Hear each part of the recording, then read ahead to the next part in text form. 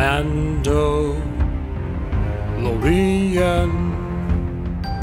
It's Star Wars, the Western.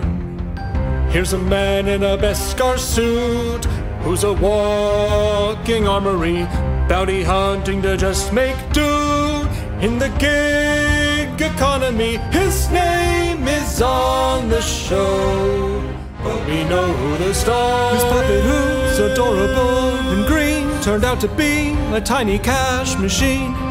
Through the dustiest worlds he rides, kicking ass and slinging guns like a mystery cowboy type. Hate to say, it's all been done. He's just Clint Eastwood with a much sweatier head. These references, like No Name Trilogy, go on and on like CVS receipts. John Wayne as well, but that's a deeper one. His grandson does a lot of Mando stunts. Fun!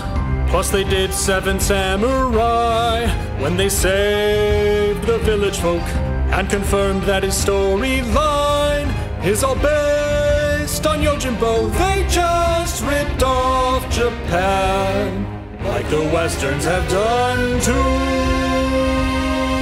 And they did Apollo 13 chopper shot. That's a reference to humans who failed in space in a show about space, but it's cool. The directors are family. Where is the line between homage and stealing? Even old Firefly had a reference ceiling. One thing I know,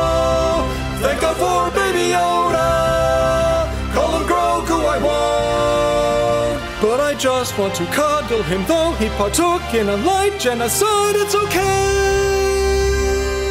but it's kinda not.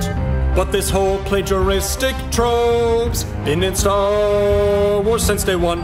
Hidden Fortress inspired New Hope. Lucas added laser guns. I guess this is the way. It's parsec for the course pawns.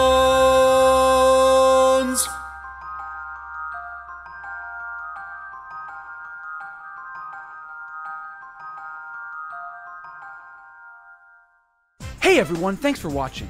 If you want to watch another theme song with lyrics video, click the box on the left. Or if you want to watch another Star Wars video, click the box on the right.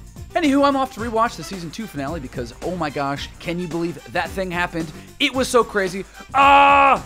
I haven't seen it, that's why I'm being vague. I'm not spoiling anything. Okay, bye.